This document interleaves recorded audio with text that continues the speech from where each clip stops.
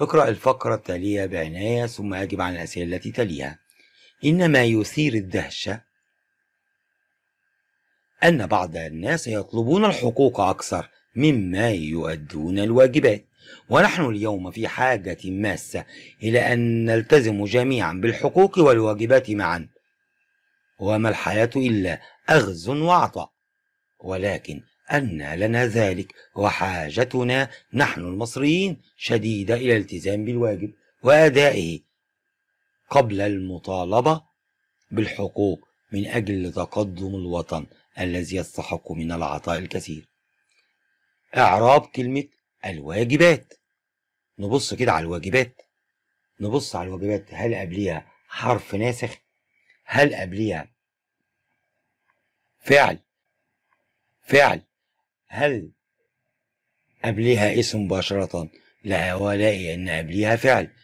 أسأل الفعل مين اللي بيودي؟ وهو الجماعة.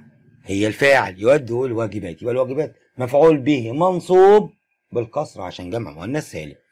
كلمة معا منين ملاقيها في أي جملة؟ حال منصوب وعلامة نصبه الفتحة الظاهرة. معا. ده إعراب محفوظ. كلمة شديدة. نحن المصريين شديدة. شديدة خبر لنحن. خبر مرفوع وعلامة رفعه الضمة الظاهرة. الوطن من أجل تقدم الوطن. الوطن مضاف إليه مجرور وعلامة جره الكسرة.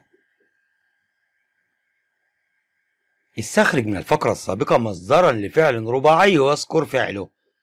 يبقى أنا دلوقتي هفتكر المصادر.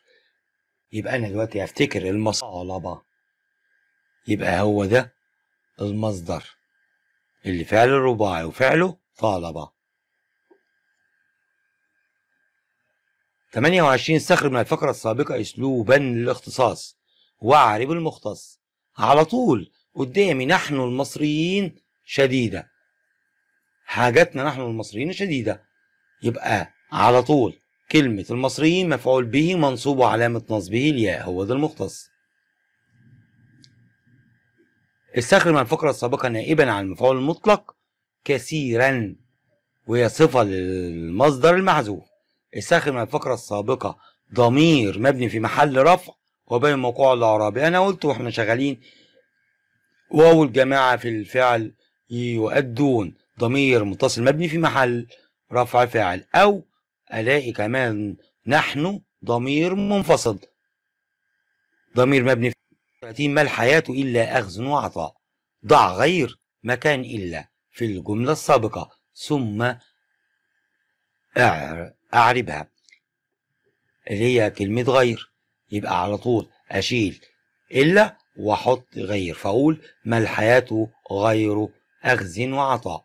وهغير كلمة أخذ إلى كسرتين. لأن اللي بيجي بعد غير مضاف إليه تبقى أخذ وكلمة غير عشان أعربها هسأل نفسي سؤال مهم.